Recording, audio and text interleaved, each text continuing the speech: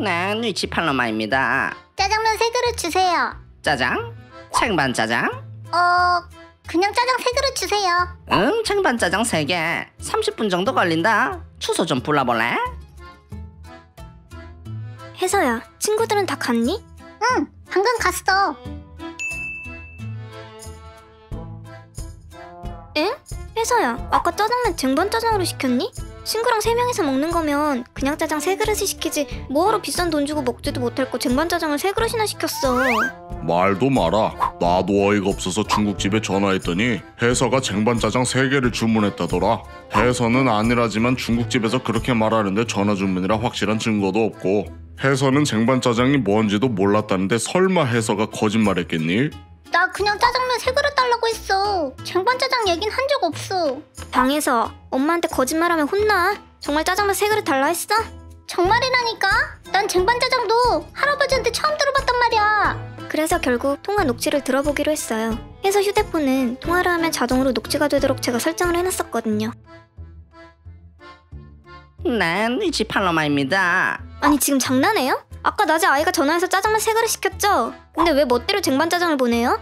애한테 누명 씌우게 해서 바가지 씌우면 좋아요? 동네 장사 그렇게 하시면 안 되죠. 아니, 바빠 죽겠는데 뭔 소리예요, 대체? 내가 분명 쟁반 짜장 3그릇 시켜서 그대로 보내준 것 뿐이거든요. 아까 어떤 할아버지랑 이미 타 얘기 끝냈는데 왜 자꾸 전화해서 난리예요, 난리는? 저기요. 우리의 핸드폰은 통화하면 자동으로 녹취되게끔 제가 설정해놨거든요. 녹취록 다 듣고 하는 말이니까 짜장면 세 그릇 값만 받으시고 나머지는 돌려주시죠. 아, 바쁘니까 연락하지 마셔. 여보세요? 여보세요? 아니 이 아저씨가 진짜 그래서 전 억울한 마음에 지역 맘카페에 피해 내용을 게시했죠 저게 위치 팔로마인데요. 맘카페에 올리신 걸 팠는데 그걸 좀 내려주시면 안 될까요? 저희가 지금 그걸 때문에 타격이 너무 커서요. 매출이 확 줄었거든요. 언젠 바쁘니까 연락 말라면서 사과조차 안 하고 먼저 전화 끊으셨으면서 이제 와서 장사 안 되기 시작하니 글 내려달라고요? 진짜 웃긴 아저씨네 제가 왜요? 아니 솔직히 요즘 코시국이라 다들 먹고 살기 힘든데 꼭 이렇게까지 하셔서 자영업자 한 명 보내셔야 속이 후련하시겠어요? 그냥 서로 좋게 좋게 끝내면 좋지 않습니까? 좋긴 뭘 좋아요 글 내리면 그쪽만 좋은 거지 제가 좋을 게 뭐가 있어요? 나중에 주문해 주시면 제가 군만두 서비스로 팍팍 드리겠습니다. 단무지도 넉넉하게 챙겨 드릴 테니까 한 번만 좋게 넘어가 주십시오. 군만두에 단무지요? 이러니 개콘이 망했지 아저씨 같으면 아저씨 같은 가게 주문하겠어요? 이 동네 중국집이 거기 하나뿐인 줄 아나 앞으로 아저씨한테 주문할 일 없고요 아저씨가 음식에 몰래 침 뱉어서 보낼지 누가 알아요? 커참 사람 엄청 빡빡하시네. 내가 이 정도 굽히고 나왔으면 아줌마도 한 발 물러서야 인지 상정이제. 한 주 끝까지 고집 부리시네. 아저씨가 사과나 제대로 하고 저한테 글 내려달라고 했어요?